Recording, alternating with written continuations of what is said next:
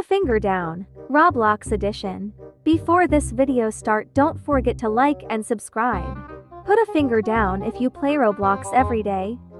Put a finger down if you have a Robux. Put a finger down if you had no Robux left. Put a finger down if your dream face is super super happy face. Put a finger down if you change your avatar often.